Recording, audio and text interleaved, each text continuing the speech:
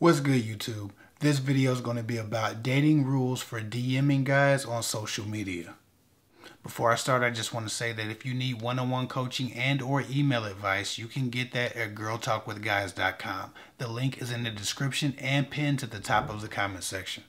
Anyway, on last week's Zoom call, I promised somebody that I would make a video outlining some potential rules that they should follow when DMing guys.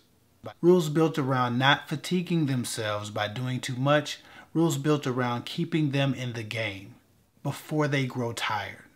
Dating does not have to be a traumatic experience, and every disappointment doesn't really have to affect you. But sometimes, if you stay too long or if you hope too long for someone to change the ways they're dealing with you, you can grow tired and you can grow fatigued and you can want to give up.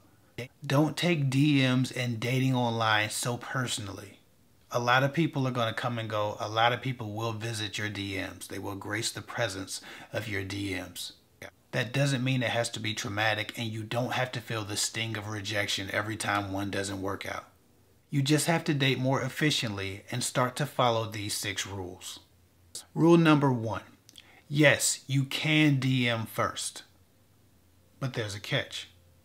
If you decide to DM a man first, please do so about the content on his page and not that you think he's handsome or how cute you think he is or how much you like his pictures, unless they're pictures of nature and that's his theme. It's okay to compliment a man's photography. It's not so much okay to compliment a man's face or looks. If he's a photographer, that's okay. But if you're talking about you like his pictures and all of them are of him, not so much.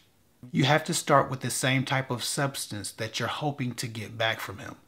I personally believe it's okay for women to start a conversation with any guy they want to at any time they want to. You're not giving up much just starting a conversation. Flirting and conversing are different. I'm talking about conversing.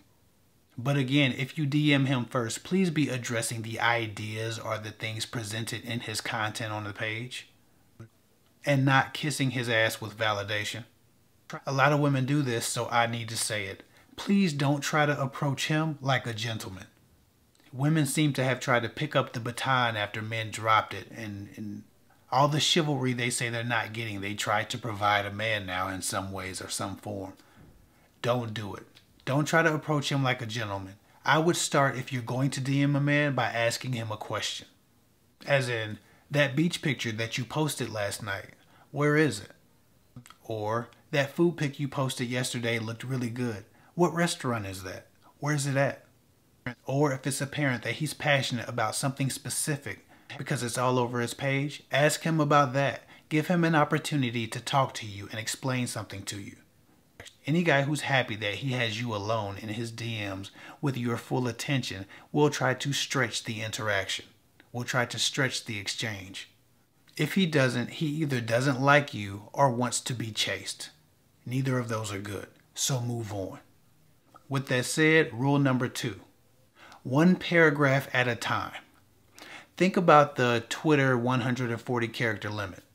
Some women get really excited and start writing super long messages that can't fully be addressed and makes them appear in many cases to be overeager.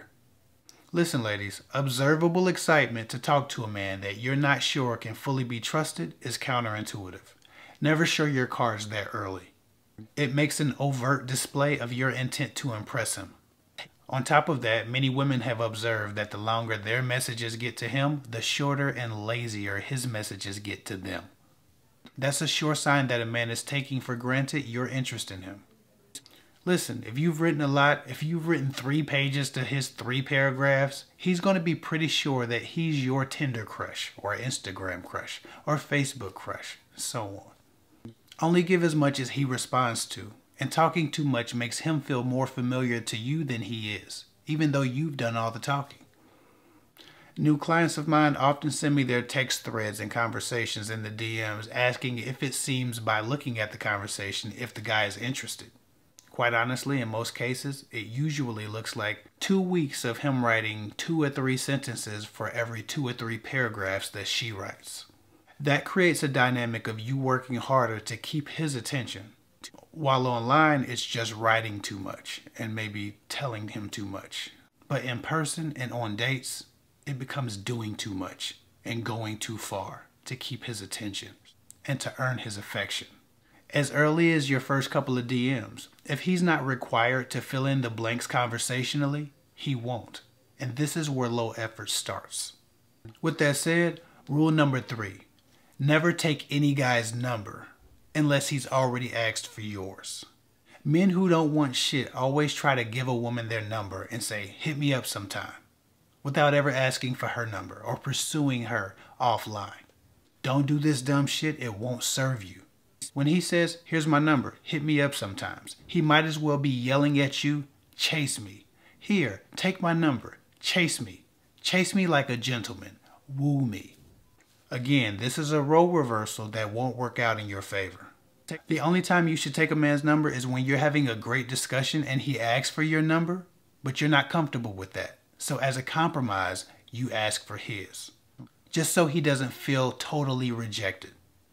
And once you feel comfortable, text him and say, listen, you asked for my number earlier. I didn't feel comfortable. I'm okay with it now. You can call me anytime. Winky face emoji. Some men want to be courted like women, so they never ask for your number. They just offer theirs don't go for it. In fact, straight up tell a guy, listen, that's a guy's job. Or I don't I don't call guys first. That's not how I work. Be very honest. Don't try to save face and don't try to avoid the conflict of addressing the bullshit that he's presenting. Just simply say, listen, I'm not that type of woman. If a man wants me, he's going to call me, he's going to text me. I'm not chasing no man down. If a guy does ask for your number and you're not comfortable giving it to him and you decide you want to continue talking on the app, just know that a guy who's really interested will talk to you online as long as it takes for you to feel comfortable. Many of the guys who try to just give you their number do it as a means to end the conversation. Genuine interest isn't looking for a means to stop a conversation. It's looking to extend the conversation. When I met my wife on MySpace after about two days of going back and forth in the message box, I asked for her number. She told me she didn't give out her number, that she didn't feel comfortable doing that, but she did take mine. That didn't stop me though. I was genuinely interested. So I just spoke to her online for three more weeks in her MySpace inbox until she felt comfortable. Actually, until she expected to hear from me, until we talked so much on MySpace, it was actually odd if I didn't speak to her that day. After that, she called me and let me know that I could call her. And we both gave an even effort from that point. I say all that to say this. If a man is really interested, even in the DM stage, he's not going to be trying to cut the conversation short and drop his number like a glass slipper. Once he knows he's welcomed, he will assert himself and try to get to know you. Moving on, rule number four cut weak conversations short. While things can be shallow with the first few messages, conversation should grow in complexity after a while. If you notice that he's avoidant to exchange seriously and attempting to banter and flirt instead of trading real ideas and conversing, just stop writing him. That could look like him not being attentive to what's being said to him, or being lazy and abrupt in his responses, or switching the subject to a more mature substance that you're trying to add and introduce into the conversation back to banter and flirting, or any other method of blocking conversational progress. If he's not being thorough or he's not writing enough, cut it off. Don't write a bunch of paragraphs while he's writing a bunch of lazy ass acronyms and dropping a bunch of emojis as if they're words. As if they give you something. As if they're personal. And of course, some men aren't the best communicators, but if you want to actually have great conversations with your future man, this needs to be something that you look into. This needs to be something that you pay attention to communication style and skills have to be a qualifier. Don't exhaust yourself trying to squeeze water from a rock and extend a dry ass conversation just because you like a guy's profile pictures. So many of y'all determine y'all like a guy just because you've seen his profile pictures when he hasn't said anything of substance to you in the DM. Cut weak conversations short and move on. Rule number five know when you are being seduced. Please limit sexual tension building.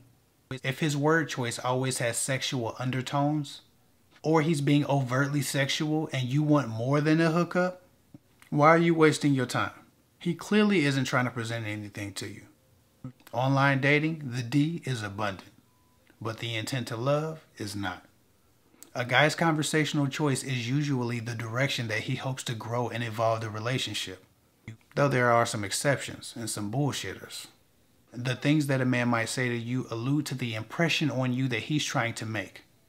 Extended small talk and banter and flirting are usually hookup indicators, not genuine intrigue, not curiosity. While a man must want to ravish you before he even talks to you or takes you seriously, he should also want to speak to you before and after that, if that were to happen. He should also see more than a physical conquest. You can tell what he sees in you sometimes through his conversation or lack thereof. If he can't even pretend to care about your mind or beliefs, if he can't even pretend to care to want to share his, if he goes right to attraction when he DMs you, and hovers around flirting and witty banter and more flirting and sexual attention building, if you want more than that, you need to cut that conversation short. Don't waste your time trying to figure out if he has any more depth than he's presented you. Because men with depth understand that you shouldn't present a woman your sex first, you should present her your mind. Some of y'all need to stop trying to build from lust if you want love.